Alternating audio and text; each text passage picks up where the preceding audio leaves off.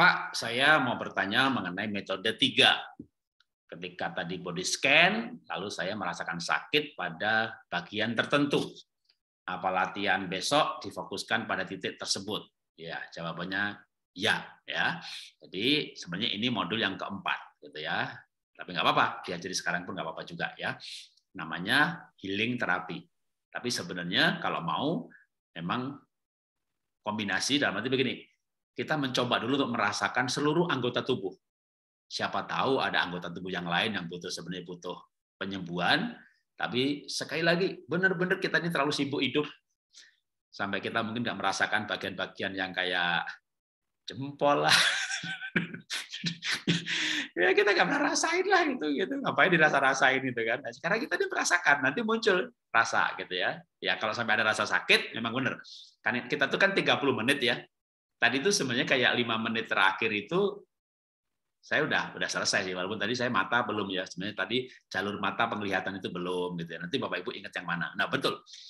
Kalau sekarang ini 30 menit ya 30 menit bahkan nanti juga sebenarnya dalam metode yang keempat pun gitu ya maka tetap 20 menit itu untuk body scan seluruh tubuh tapi dengan lebih cepat.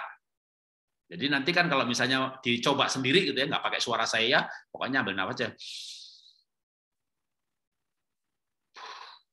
gitu ya. Tapi maaf, maaf lewat hidung ya. Lalu merasakan satu jalur nih tangan. Seret ya. Jadi coba merasakan kayak kayak tangan atas ke sini gitu ya. Syukur kalau bisa kayak ngerasain serem gitu. Oke satu jalur. Nah itu kan satu jalur bisa satu menit bisa lima menit. Bisa dipercepat. Tapi jangan nggak dirasakan mencoba merasakan tetap gitu ya. Jalur pernafasan jalur pencernaan, berarti dari mulut, lidah, pipi. Kalau kemarin belum sebut pipi jadi pipi, kerongkongan, bayangin turun lambung gitu ya. Pelan-pelan aja, emang kita belajar sabar ya. Jangan buru-buru ke tempat yang sakit dulu. kita rasakan semuanya 20 menit gitu ya. 10 menit terakhir udah di bagian yang sakit. Yang ada masalah, yang memang benar-benar Pak belum dirasa-rasakan emang saya bermasalah Pak lutut saya Pak gitu ya. Udah 10 menit 10 menit terakhir gitu ya. Kalau mau pakai jam melihat dulu buka mata juga nggak apa-apa ya. Kalau pakai suara saya tadi kan mungkin eh, memang nanti akan ada metode yang saya akan rekam yang keseluruhan hanya 20 menit gitu. nah 10 menitnya nanti berdoa masing-masing untuk bagian yang sakit sambil membayangkan yang sakit tersebut. Bayangin oksigen ditarik kayak diulang ya. Kan 10 menit itu lama ya Misalnya katakanlah yang sakit itu eh, saya sebagai seorang diabetes pankreas sambil bernafas saya bayangin oksigen tarik. Saya bayangin oksigennya dulu. Oksigen masuk paru-paru. Oh, darah ambil oksigennya. Terus oksigen dipompa ke jantung. Sekarang oksigen yang bagus, yang baik menuju ke pankreas. Pankreas dapat oksigen yang benar, terjadi reparasi sel. Pankreas saya sembuh kembali. Gitu. Nah itu itu boleh lima menit, boleh 10 menit, udah Bayangin pankreas, berdoa untuk pankreas. Bahkan boleh juga kalau sampai mau tangan ini kita gunakan untuk tumpang tangan. Jadi misalnya yang sakit dengkul, ya kita tumpang tangan di dengkul kita.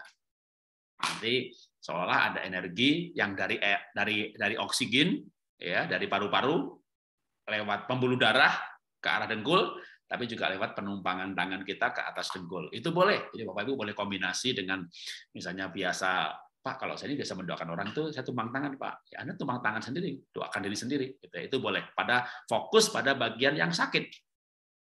Ya, jadi eh, memang ini dikombinasikan antara bernafas sebagai teknik mengambil oksigen yang bagus dan menyalurkan yang sakit ditambah dengan kekuatan pikiran berpikir tentang badan yang sakit itu sembuh ya anda bahkan juga boleh istilahnya memperkatakan iman gitu ya Terima kasih Tuhan, saya percaya bahwa Tuhan menciptakan tubuh dengan kemampuan menyembuhkan diri sendiri. Ya kan tubuh memang punya kemampuan itu ya. Kalau zaman dulu belum ada obat, ya orang-orang yang survive tertinggal ini karena punya kemampuan menyembuhkan tubuhnya sendiri. Lalu kita berkata Tuhan, terima kasih untuk hal itu. Kami percaya Tuhan mampu menyembuhkan lewat mekanisme tubuh yang memang Tuhan sudah ciptakan seperti itu. Saya percaya dengkul saya sembuh dengkul saya sembuh. Dengkul saya dialiri oksigen, dengkul saya dengkul saya mendapat oksigen yang bagus, tubuh saya alkali, reparasi sel, regenerasi sel terjadi di dengkul saya. Nah, itu boleh gitu ya sehingga 5 10 menit pada bagian yang sakit tadi mendapat perhatian yang lebih itu itu itu boleh itu sebenarnya udah masuk nanti metode yang keempat tapi nggak apa-apa kita udah mulai belajar sekarang ini nanti masih ada pendalaman sedikit mengenai yang keempat di minggu depan ya